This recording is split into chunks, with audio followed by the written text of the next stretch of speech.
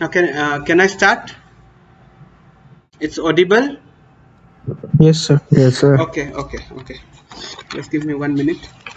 I have uh, brought about uh, many topics today. ठीक है बहुत सारा चीज़ें uh, मैंने लाया है तो I'll be trying to uh, discuss as much as possible because um, uh, Jishu uh, Aniket has exam tomorrow na he has his viva tomorrow so um, some of the most important things which you need uh, to know और जो पूछ सकते हैं so I'll go with that ठीक है Mm, just a minute. Okay, sir. also I'll be discussing many MCQ type questions जो कि one one जैसे वाइवा पे लाइक दे आस्क ना like what is that what was that so those type of question also I like to do ना ठीक है तो first thing आप यू मस्ट नो आपको जो व्हाट इज़ दैट आप जब लोकल एनास्थीसिया पढ़ते हो तो हम पढ़ते हैं, क्या पढ़ते हैं उसका? फ़र्स्ट थिंग क्या कॉम्पोजिशन ओके तो कॉम्पोजिशन में every one of us know कि ठीक है लिग्नोकेन होता है, आपको एड्रीनलिन होता है, फिर सोडियम मेटाबाइसल्फेट होता है, ठीक है? फिर और क्या होता है? सोडियम क्लोराइड होता है, मिथाइल पैराबेन होता है देन थाइमोल होता है। बट दिस इज़ फाइन ठीक है? बट उससे भी थोड़ा ज़्यादा if you can answer then that is better ना? कि एड्रीनलिन ठीक है? लिडोकेन पता है हमको टू परसेंट होता है, ठीक है? Adrenaline we know what is that zero point zero zero zero one M G I guess ऐसे कुछ है। सोडियम मेटाबॉलिक सल्फेट कितना होता है? Zero point five milligram so you try to remember this ठीक है? ये तो हमको पता है one is to two lakh ठीक है? या one is to eighty thousand ये कुछ भी हो सकता है, ठीक है? सोडियम मेटाबाइसल्फेट क्या होता है? Zero point five M G ठीक है? और सोडियम मेटा बाइसल्फेट किस लिए देते हैं? Why it is a preservative for vasoconstrictor now only preservative बोलना काफ़ी नहीं है। If you want to get more marks in your exam preservative for vasoconstrictor. So, you tell like that. If they ask you, what is this? It is a preservative for vasoconstrictor. ठीक है? Sodium chloride क्या करता है? 0.6 milligram you remember metabisulphide है 5 milligram 0.5 milligram sodium chloride है 0.6 milligram what does it do it helps in the management of isotonicity of the solution ठीक है? Methyl paraben कितना होता है? 1.0 पॉइंट ठीक है? ये याद रखना है आपको, methyl paraben 1.0 point and it help it is also a preservative but it helps to increase the shelf life ठीक है? It helps to increase the shelf life ठीक है? नाउ अभी नेक्स्ट क्वेश्चन है हैव यू अंडरस्टूड दिस ठीक है ये याद रहेगा आपको 0.5 milligram this one you just check ना 0. Point, कितने जीरोस है in adrenaline I am just little confuse 0.0125 0. कितने ज़ीरो है? 0.0125 no no 0.0125 just check i'm not sure about this ठीक है? Then sodium metabisulfate 0.5 मिलीग्राम ये याद रखो। Sodium chloride 0.6 milligram. यहाँ पे बोला मैंने सोडियम मेटाबाइसल्फेट में it is a preservative for vasoconstrictor ये वर्ड यूज़ करना, preservative for vasoconstrictor methyl paraben preservative to increase shelf life और थाइमोल क्या होता है? इट इज़ ए फंजीसाइड ठीक है? नाउ नेक्स्ट ये जो वाइल आता है ना एले का एले का वाइल आता है एले वाइल ठीक है? जो ऐसे बोतल होते हैं ना तो वो कितने एम का होता है? बेसिकली ये 30 एम का होता है, ठीक है? 30 एम एल यहाँ पे लिग्नोकेन लिखा हो, या आपका लीडोकेन हो, या आपका जाइलोकेन हो, ठीक है? इट इज़ ये तीन सारा नाम है, या it can be available in any other name also तो 30 एम का होता है, ठीक है? और जो आपका कैटरेज होता है कैटरेज कैटरेज पता है ना? सिंगल यूज़ ये जो वाइल होता है that is for multiple use आप बहुत सारे पेशेंट पे यूज़ कर सकते हो। ठीक है? पर जो कैटरेज होता है it is single use single use generally in India 1.8 ml वाला कैटरेज अवेलेबल है। You I guess you have studied also जब आप पीएसए पढ़ते हो तो उसमें लिखा हुआ है कि कितना एम आप सोल्यूशन दे सकते हो एक पेशेंट को तो इट इज़ अप्रोक्सीमेटली 1.8 ml. और inferior alveolar nerve block it is approximately 1.5 ml. ठीक है? तो ये सारा तो uh, जो कैटरेज होता है approximately 1.8 ml. So like so उतना सारा डिपॉजिट हो जाए आपको 1.8 ml. ठीक है? तो cartridge 1 point like cartridges are like this ना? ऐसे होते हैं कुछ.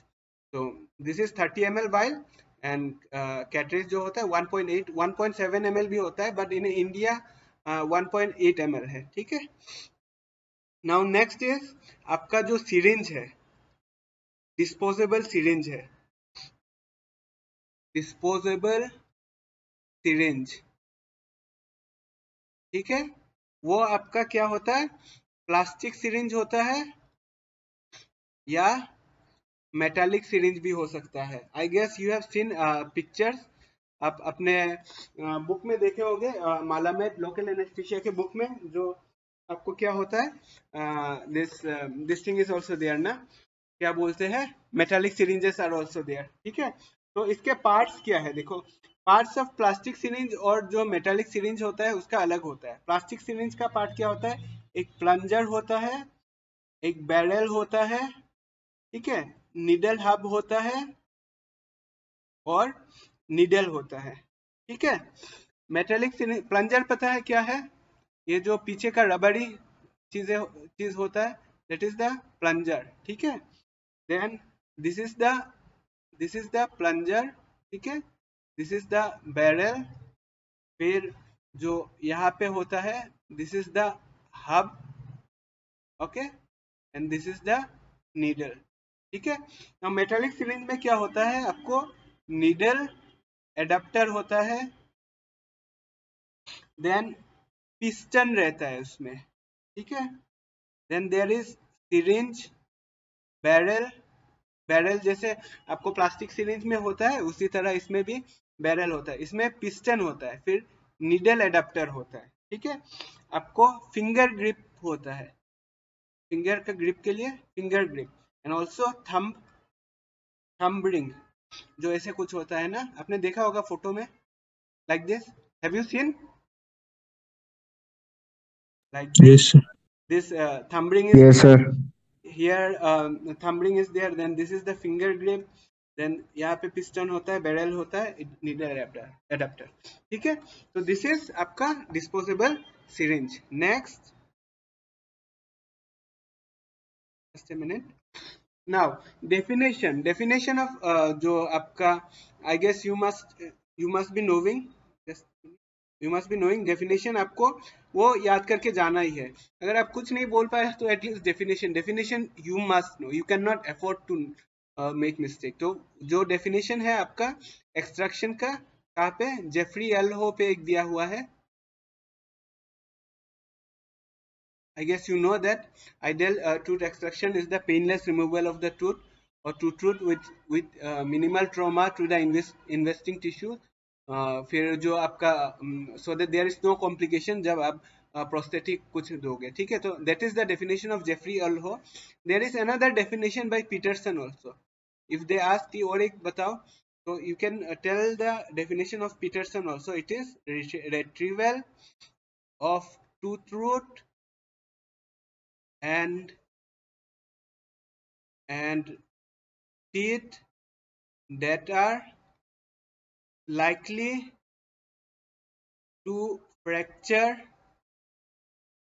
or for some other reason have an obstacle to extraction ठीक है तो ये एक पीटरसन का डेफिनेशन है बट मोस्ट इंपॉर्टेंट है आपको जेफरी एल होगा तो यू शुड मेमोराइज दैट ठीक है?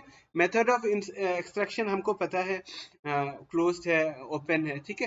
तो एक्सट्रैक्शन में क्या क्या चीज़ें यूज़ होता है? देखो हम सर्जिकल प्रिंसिपल यूज़ करते हैं एक्सट्रैक्शन में।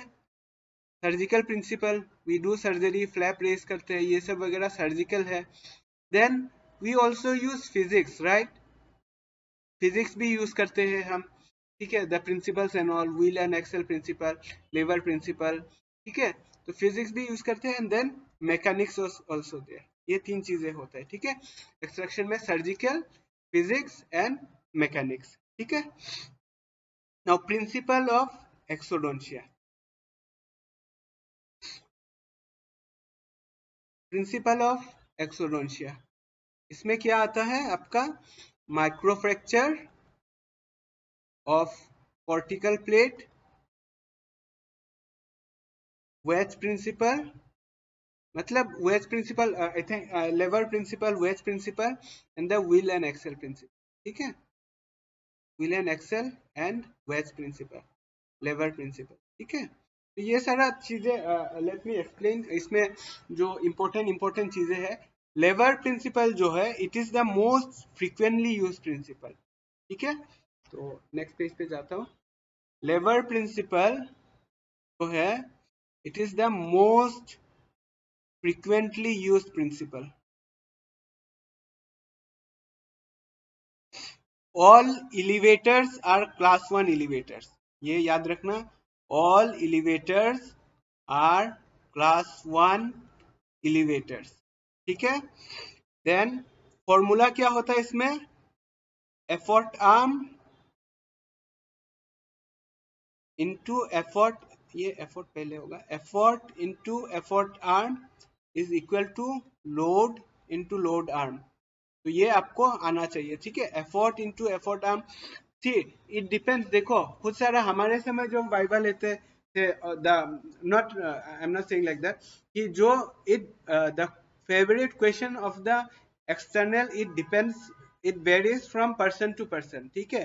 तो मेरे साथ जो आए थे दैट डज नॉट मीन कि उनका आप पे भी वही सेम आएगा। तो इट इज़ नेसेसरी कि आपको सारी चीज़ें पता रहे, ठीक है?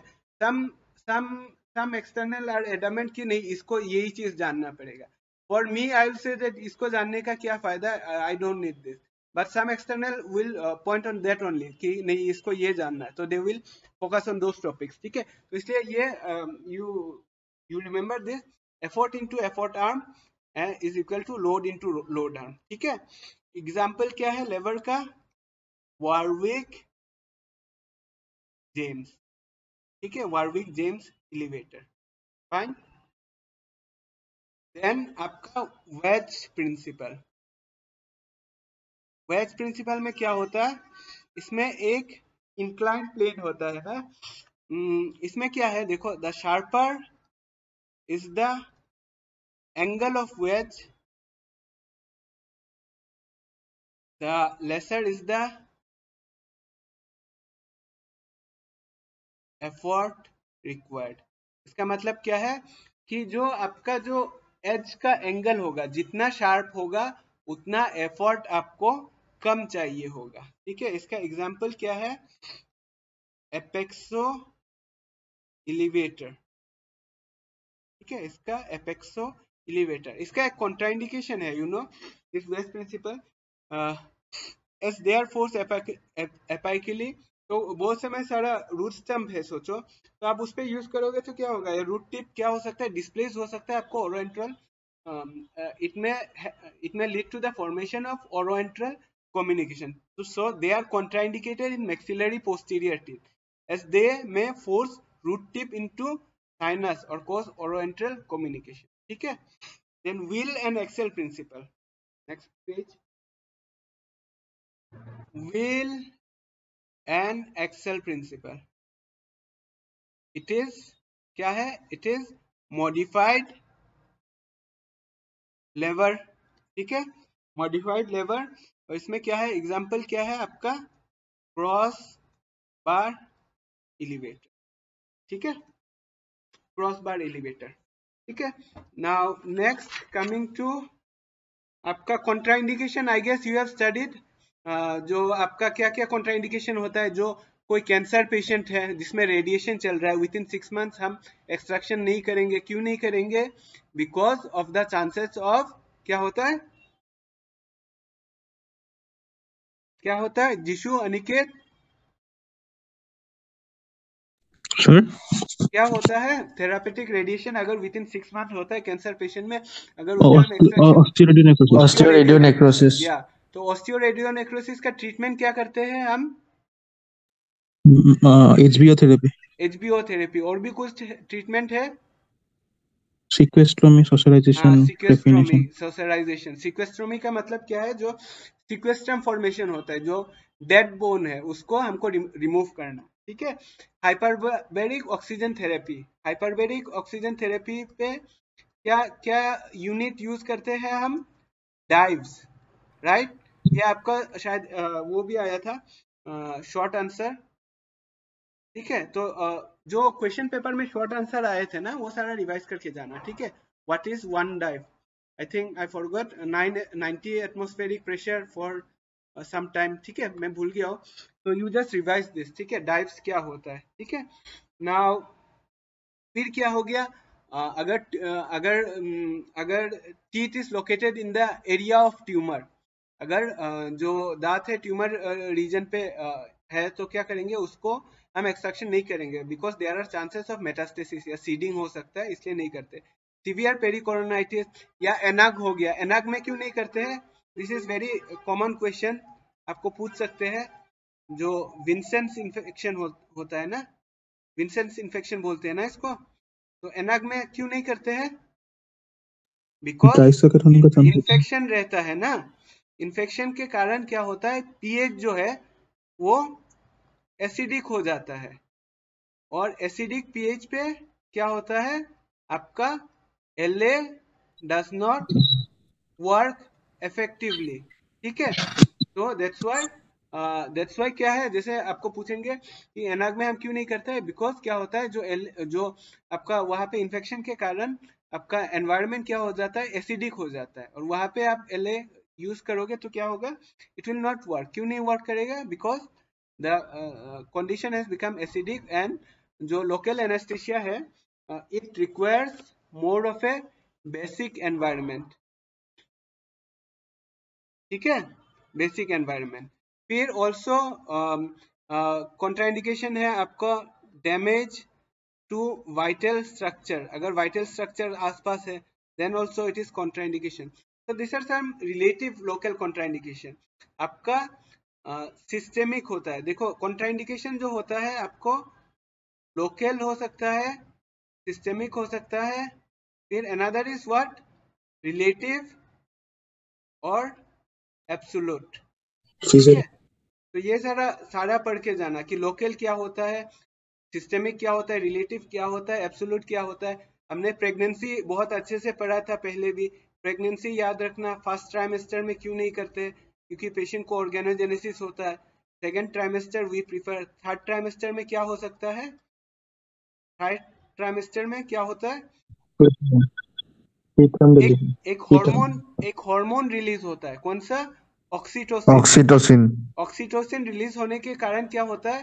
प्रीमेच्योर लेबर हो सकता है पेशेंट को और अर्ली बर्थ हो सकता है। ठीक है? प्रीमेच्योर डिलीवरी हो सकता है। और क्या हो सकता है? एक हाइपोटेंशन हाइपोटेंशन सिंड्रोम कुछ पढ़ा था हमने आपको याद रहेगा।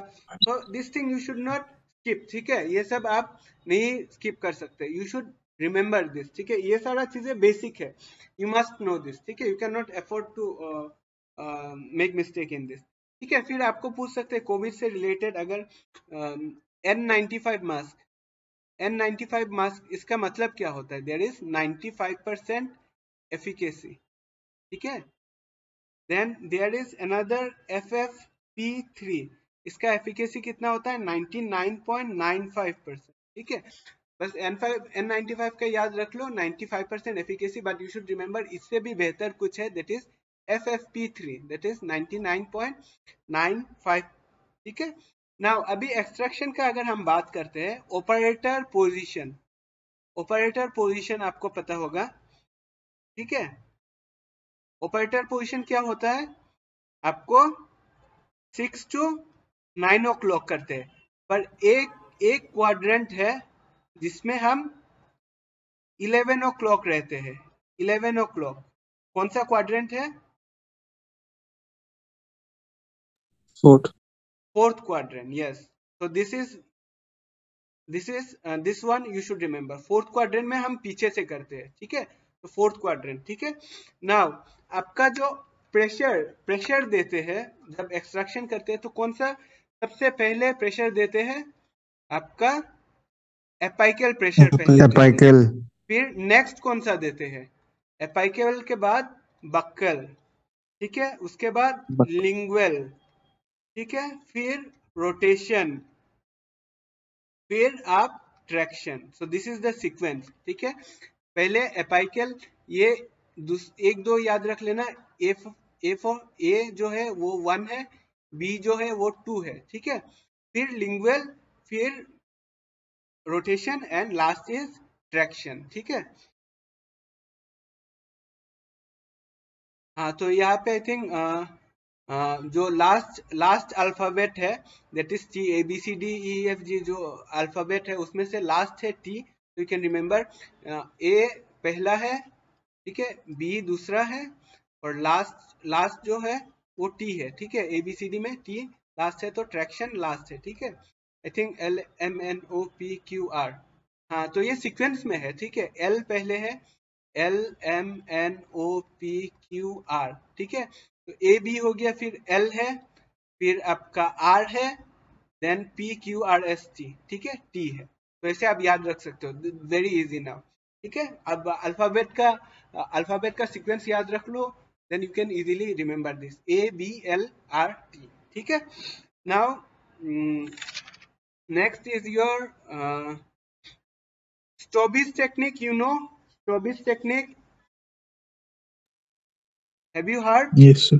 I have taught you already, Yes, ना? sir. Before Stobis Yes, technique ये जानना Yes. ज़रूरी है, ठीक है? सोचो दो दांत है, like this, सोचो anterior दांत है, यहाँ पे एक दांत है और यहाँ पे एक दांत है anterior, ठीक है?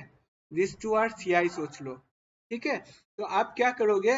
जो इलिवेटर है, यहाँ पे मिडिल पे डालोगे। सोचो, आपको ये दोनों निकालना है, ये भी निकालना है, ये भी निकालना है। तो इलिवेटर जो है, आप दोनों दांत के बीच में ऐसे डालोगे और ऐसे घुमाओगे तो क्या होगा? ये दांत इस तरफ़ घूम जाएगा, ये इस तरफ़ चला जाएगा and then you can extract both the teeth okay so this is चौबीस टेक्निक रबर स्टैम्प टेक्निक कहाँ पे? Rubber rubber band not rubber stamp rubber band किसमें यूज़ किया जाता है? कौन से पेशेंट में? यू नो ये याद रखना हेमोफिलिक्स में। ठीक है? हेमोफिलिक्स में आपको रबर बैंड एक्सट्रैक्शन करते हैं। रबर बैंड क्या बोलते हैं? Uh, जो प्रोसीडियर है रबर बैंड एक्सट्रैक्शन करते हैं। ठीक है? Then another is postage stamp I was in this postage स्टैम्प जिसमें ऐसे से वो कर देते like flap is remove then like postage stamp की तरह एक वो बनाते हैं फिर then they extract the teeth okay so this is postage stamp okay now next is your sequence of extraction postage stamp भी अच्छे से पढ़ जाना। पहले गुवाहाटी यूनिवर्सिटी में this use to come as a short short note ठीक है चार मार्क पाँच mark even when I was appearing ना तो uh, even though I was appearing in uh, Shankardev, there were some of my seniors ना जो कि Guwahati university से थे तो in their exam our exam other things came but in his exam this postage stamp technique आया था ठीक है Hmm. uh, mm, you remember this okay uh, कि आपका what is that postage stamp technique ये भी आप पढ़ लेना एक बार अच्छे से ठीक है नाउ सीक्वेंस ऑफ़ एक्सट्रैक्शन सबसे पहले हम कौन सा दांत निकालते हैं? मैक्सिला की मैंडिबल? मैक्सिला. मैक्सिला। और मैंडिबल। मैक्सिला एक्सट्रैक्शन करते हैं हम पहले। ठीक है? Now what is the reason maxilla extraction करने का? क्या होता है? हो. हाँ? हो सकते डेब्रिस डेब्रिस नीचे गिर सकता है। ठीक है? Like if you extract the mandibular पहले अगर मैंडिबुलर नि, निकाल देते हैं तो debris like socket will be empty और ऊपर से हम एक्सट्रैक्शन करते हैं तो वहाँ का डेब्रिज जो है मैंडिबल पे गिर सकता है, ठीक है? तो that's why we prefer maxilla तो मैक्सिला में कौन सा पहले निकालेंगे? मैक्सिलरी पोस्टीरियर टीथ सारा निकाल सकते हो एक्सेप्ट द फ़र्स्ट मोलर ठीक है? वो बाद में करते हैं। Then maxillary anterior teeth except the canine ये दोनों क्यों क्यों बाद में करते हैं? Because this are the corner corner stone होता है ना? और आर्च इंटीग्रिटी भी मेंटेन करता है ठीक है? तो वी एक्सट्रैक्ट दिस लेटर ठीक है? फिर हम क्या करते हैं?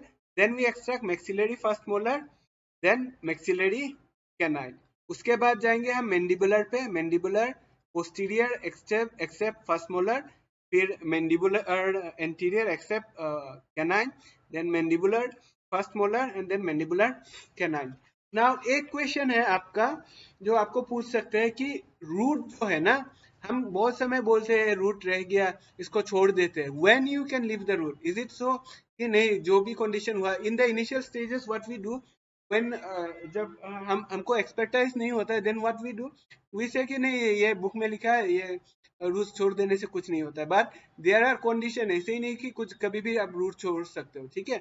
You should gain the gain enough expertise और जब फिर भी आपको नहीं होता है देन यू कैन लिव उसका कंडीशन है। अगर root piece is small small अब स्मॉल बोलने से हो जाएगा क्या? उसका साइज़ होना पड़ेगा। तो एग्जामिनर में आपसे स्मॉल कितना small than or equal to five M M तो दिस इज़ एन आपका वाइवा क्वेश्चन या NEET MDS question less than or equal to five five M M ठीक है? Then root fragment must be superficial then teeth involve must not be infected or have periapical lesion सोचो, वो वो root जो आपका रह गया है, उसके नीचे इन्फेक्शन है। ठीक है? Then you can not afford to leave the root आप रूट नहीं छोड़ सकते हो। ठीक है? Then if near vital structure which may be injured अगर उसके रहने से वाइटल स्ट्रक्चर कुछ सारा इंजर्ड हो सकता है तो भी आप नहीं आ, नहीं नहीं sorry you can leave the fragment ठीक है? जब अगर वाइटल स्ट्रक्चर कोई है तो uh, आप वो कर सकते हो। But in case of infection you can not afford to leave that root आपको निकालना पड़ेगा ठीक है? If it has potential to be displaced into sinus अगर आपको दिखाई दे रहा है या समझ में आता है कि जो रूट है, वो साइनस तक जा सकता है देन देन साइनस तक जा सकता है या इंफीरियर अल्वेलर कैनल या सबमेंडिबुलर स्पेस तो then then you can leave the root okay तो सबसे इंपॉर्टेंट चीज़ आप याद रखना, ये फाइव एम mm जो आपका फाइव एम mm जो है, उसको याद रखना कि फाइव एम mm में आपको फाइव एम mm तक less than five M mm या equal to five M then you can give up ठीक है? यू कैन लिव ठीक है? फिर आपका आया जो एक्सट्रैक्शन करते हैं टेक्निक्स में होता है ट्रांसएल्बुलर करते हैं तो एक होता है आपका चीजल से करते हैं चीजल एंड मैलेट और दूसरा क्या है?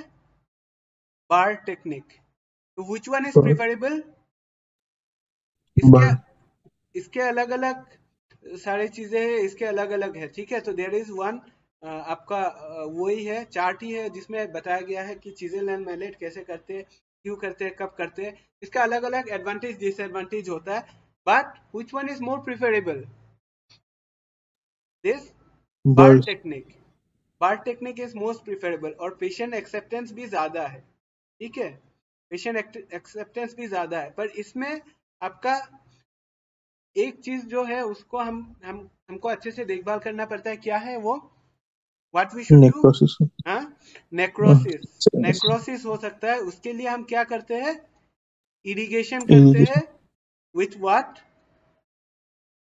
normal saline normal saline आप अदर सॉल्यूशन से भी यूज़ कर सकते हो। ठीक है there are articles regarding the use of solution की। ये सॉल्यूशन क्यों यूज़ करते हैं? ये सॉल्यूशन क्यों यूज़ नहीं करते? ये यूएस सॉल्यूशन um, कर सकते हैं कि those things are there. They are defined articles when again we'll be doing uh, this impaction so in those um, lectures later later on in your pg preparation i'll be telling you कि ringer lactate use क्यों नहीं कर सकते tap water क्यों नहीं use करते so why you use normal saline tap water भी use कर सकते हैं so there are reasons behind those ठीक है कि ऐसे क्यों नहीं करते so there are reasons ठीक है so those things we'll study later ठीक है but for now for at your stage this is important कि नेक्रोसिस और नेक्रोसिस जो परमानेंट नेक्रोसिस होता है, वो कितने डिग्री टेम्परेचर के ऊपर हो जाने से नेक्रोसिस परमानेंट हो जाता है। दैट इज़ ये एक टेम्परेचर याद रखना फोर्टी सेवन डिग्री सेल्सियस ठीक है? 47 डिग्री सेल्सियस ये याद रखना वेरी इंपॉर्टेंट अनिकेत, आप याद रखना, कल शायद ये पूछ सकता है। ठीक है? सम पीपल दे से 42 43 डिग्री तो ये there is a controversy regarding this but 47 as far as I have read it is 47 degree Celsius ठीक है? उसके बाद अगर 47 से ज़्यादा अगर हीट हो गया तो आपको परमानेंट नेक्रोसिस हो सकता है, ठीक है? नाउ एक्सट्रैक्शन कर लिया। Now instruction we give to patient instruction to patient there are different instruction we give right पर उसमें से सबसे पहला हम क्या बोलते हैं? एक गॉस पीस देते हैं हम पेशेंट को और उसको बोलते हैं कि 45 मिनट्स तक रखने के लिए। तो वो 45 मिनट्स क्यों है?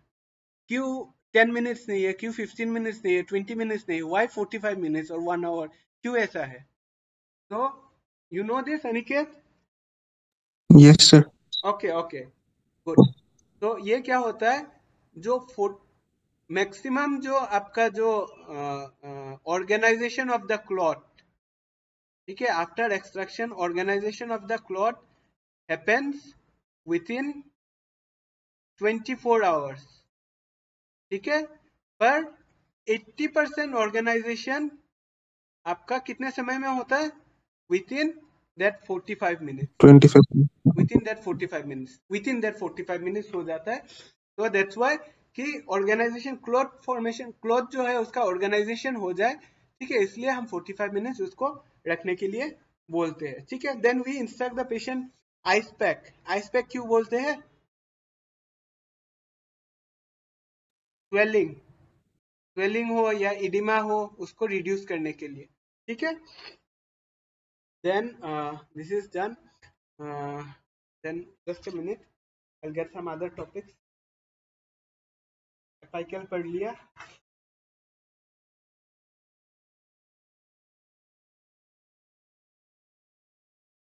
ओके तो नेक्स्ट एक सेफ़ डोज ऑफ़ एड्रीनलिन क्या है? सेफ़ डोज ऑफ़ एड्रीनलिन ठीक है? ये आपको पूछ सकते हैं। लोकल एनेस्थीसिया पूछेंगे तो ये ज़रूर पूछेंगे। ठीक है? नॉर्मल कंडीशन में क्या है? सेफ़ 0.2 मिलीग्राम ठीक है?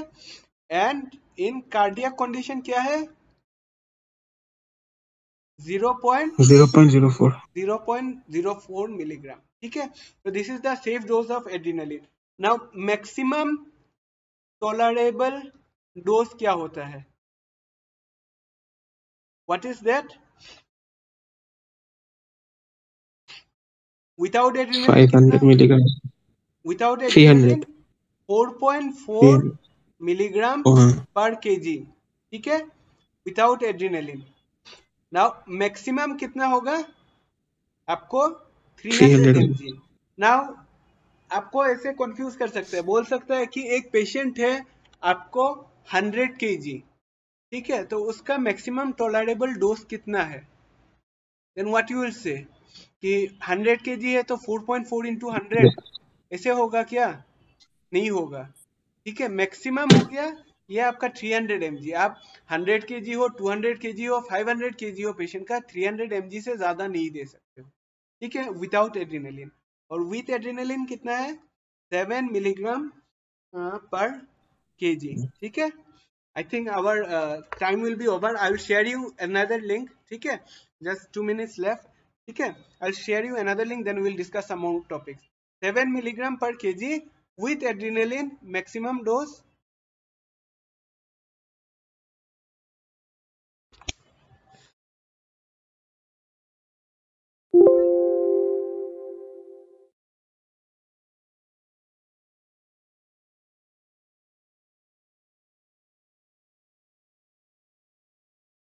okay so i was telling you कि क्या है? 7.7